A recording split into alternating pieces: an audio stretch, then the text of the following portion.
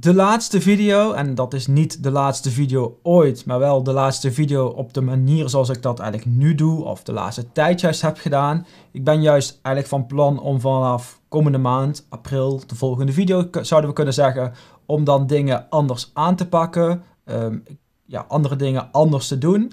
Hoe ik dat voor me zie en waarom ik dat ook van plan ben, dat wil ik uitleggen in deze video. Dus laten we snel beginnen. Leuk dat je kijkt naar weer een nieuwe video van een passiefinkomen.nl En ik weet dat het morgen 1 april is, maar daar heeft deze video niets mee te maken. Het is geen grap, het is gewoon toevallig dat het zo uitkomt. Eh, ik heb wat dingen afgerond de laatste tijd waar ik druk mee bezig ben geweest. En vanaf nu, ook toevallig een nieuw kwartaal, nieuwe maand, wil ik eigenlijk vanaf nu dingen uh, waar ik de laatste tijd over na heb gedacht, eigenlijk vanaf nu in gang zetten, dingen gaan veranderen. En laten we dan beginnen met het eerste onderdeel, dat is eigenlijk YouTube. YouTube is natuurlijk het platform waar je nu deze video kijkt. Een belangrijk platform ook voor mij als een passief inkomen.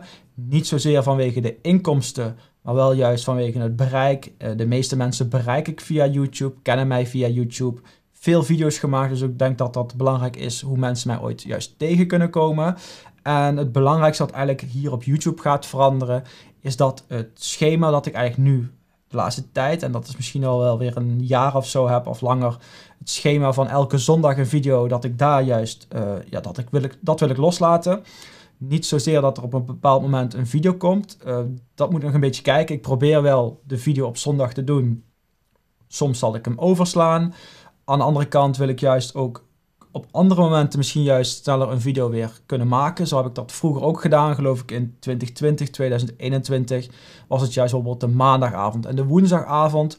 Uh, dat was toen heel populair, dat liep toen heel goed. Ik had ook veel te vertellen. Uiteindelijk is dat veranderd naar de zondag. En nu wil ik daar een beetje weer gaan kijken. Ik wil niet per se een vast schema vasthouden. Ik wil gewoon een video publiceren, uh, misschien tussendoor. Dat heeft als voordeel dat ik het meer richting de actualiteit kan doen. Iets wat op dat moment speelt, kan ik dan snel behandelen in een video.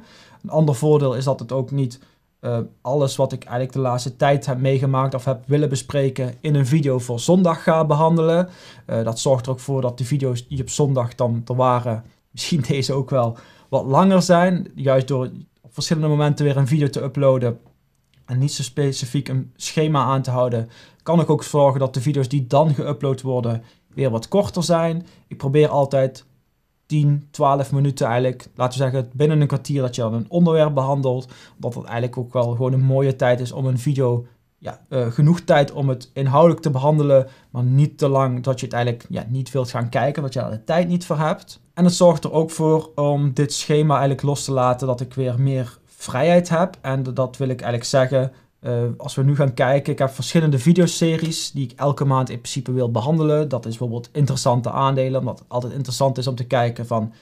Uh, zijn bepaalde aandelen die we kennen interessant geprijsd? Of zijn er aandelen die we niet kennen? Zijn die misschien interessant om wel te kopen? Dat is iets wat ik al jaren doe. Is ook altijd heel leuk om te kijken van... Ja, je wilt altijd op zoek naar dat ene aandeel bijvoorbeeld. Um, denk ook aan een crypto-video die ik elke maand wil doen. Een portfolio-update van mijn tweede portfolio. Elk kwartaal een portfolio-update van mijn eigen grote portfolio. Die zal bijvoorbeeld komende week dan ook weer komen, nu het kwartaal voorbij is. Maar als je deze videoseries hebt, dat is wel heel leuk en denk ook heel belangrijk. Bijvoorbeeld crypto, nu in een tijd waarin het best wel weer populair is.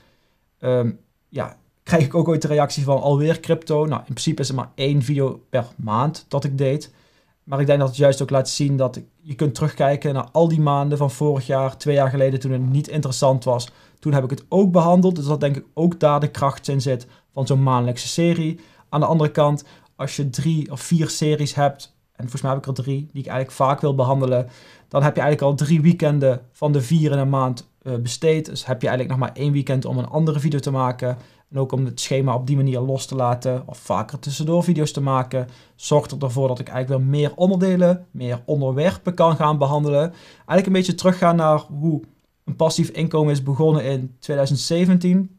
Belangrijke onderwerpen vond ik toen um, ook al bijvoorbeeld het sparen of het besparen. Zeker ook het geld verdienen, terwijl eigenlijk sinds corona voornamelijk de nadruk heeft gelegen op beleggen, in aandelen of beleggen of investeren in crypto bijvoorbeeld. Kijken naar het volgende onderdeel en dat is ook een belangrijk onderdeel. Dat is beleggertools. Dat is de website die ik inmiddels een paar jaar geleden al heb gemaakt. Uh, ondertussen telkens heb uitgebreid.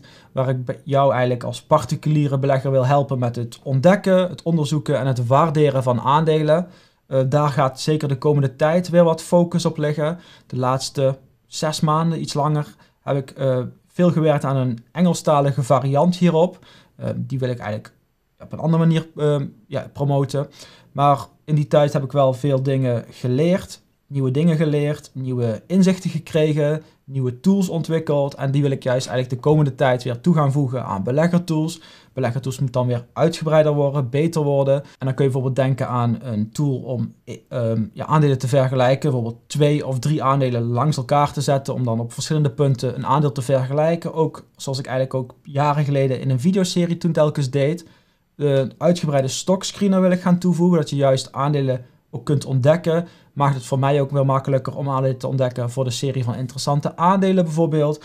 Of bijvoorbeeld de favorietenlijst of een watchlist die we hebben. Dat is nu nog één lijst, maar dan wil ik eigenlijk de mogelijkheid geven om daar meer lijsten van te maken. Dus kun je bijvoorbeeld je favoriete aandelen in de S&P 500, favoriete Nederlandse aandelen, kun je misschien toch onderscheid maken. Of aandelen die je misschien interessant vindt om in de gaten te houden.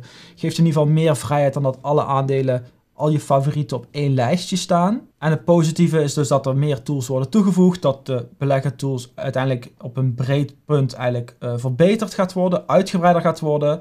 Wat we echter ook moeten doen is helaas de abonnementsprijzen gaan verhogen. Ook ik heb te maken met oplopende kosten van de data, van de servers, van diensten waar ik gebruik van maak om de website mogelijk te maken. En die kosten moet ik uiteindelijk ook doorgaan berekenen. Dus vanaf mei uh, iets, meer over, iets meer dan een maand zal ik de prijzen gaan verhogen. Ik denk met 10 euro per maand, of uh, eh, 10 euro per maand, 10 euro per jaar wat betreft de jaarabonnementen. Dit betekent dat het premium abonnement, jaarabonnement van 59 naar 69 euro gaat. En het pro-jaarabonnement van 119 naar 129.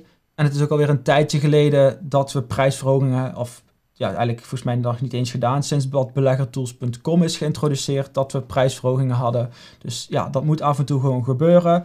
Tegelijkertijd wil ik ook wel zorgen dat, en misschien heb je dat al een beetje meegekregen op mijn Instagram.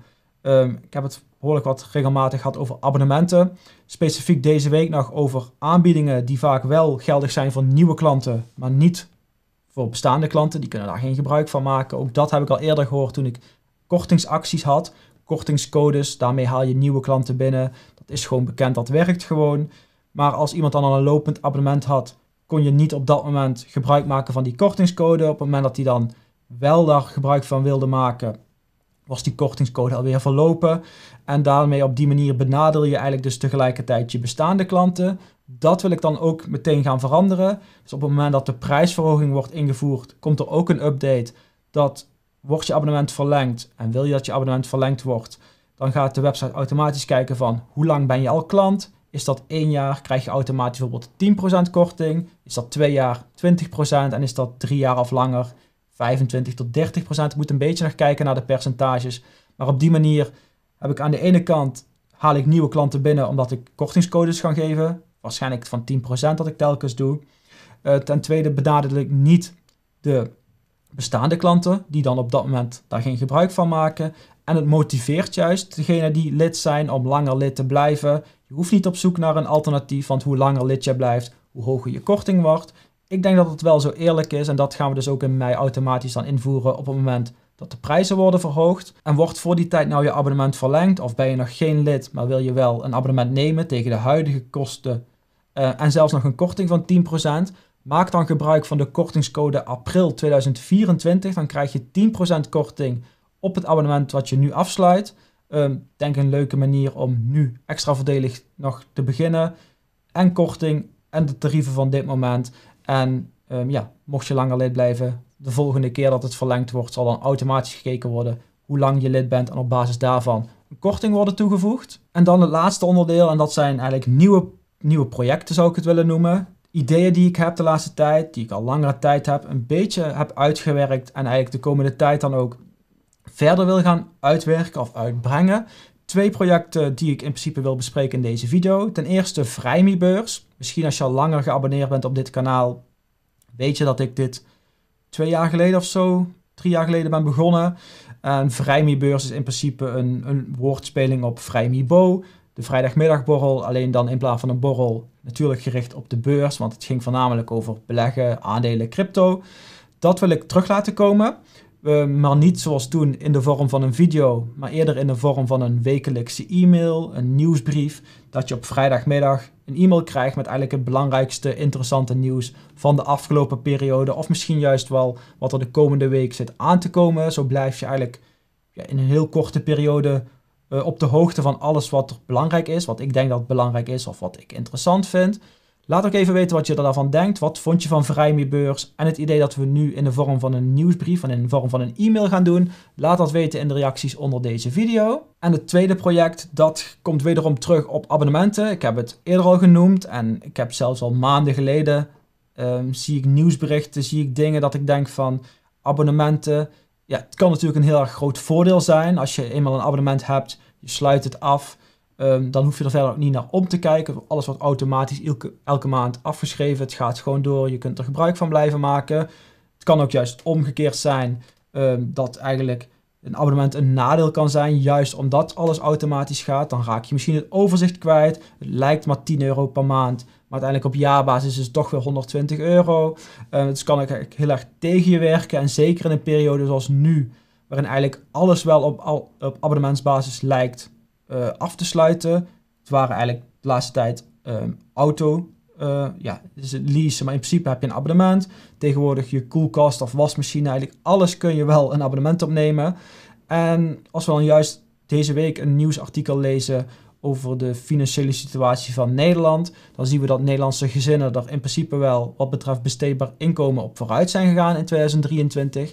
Maar tegelijkertijd lezen we ook dat de helft van de Nederlandse huishoudens financieel kwetsbaar of zelfs financieel ongezond is. En als ik dat lees, vind ik dat wel apart. De, die indruk krijg ik niet per se, maar ja, dat is dus wel onderzocht, dus het zal wel zo zijn. En ik denk dat als ik erover na ga denken, misschien juist abonnementen daar een heel belangrijk onderdeel van zijn. Juist omdat het zo automatisch gaat, eh, je er niet naar kijkt, je het inzicht kwijtraakt en ook steeds meer op basis hiervan gaat lijkt het me dat het een heel belangrijk onderdeel is. Dus het volgende project waar ik aan wil gaan werken um, is juist een project rondom abonnementen om jou daarin te helpen. Eigenlijk alles rondom abonnementen, van het inzicht krijgen tot misschien wel het opzeggen. Ik weet het nog niet precies hoe het uiteindelijk in stappen uitgevoerd zal worden. En ook wederom hier geldt voor, hoe denk jij over abonnementen? Wat is jouw idee daarvan? Hoe kijk je daar tegen? En heb je misschien nog suggesties voor mij? Laat het wederom weten in de reacties onder deze video. Tot zover dus in principe deze video.